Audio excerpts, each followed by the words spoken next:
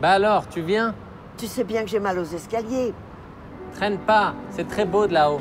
Regarde pour moi. Bon. J'ai fait ma gym pour la semaine, ça va. Bon.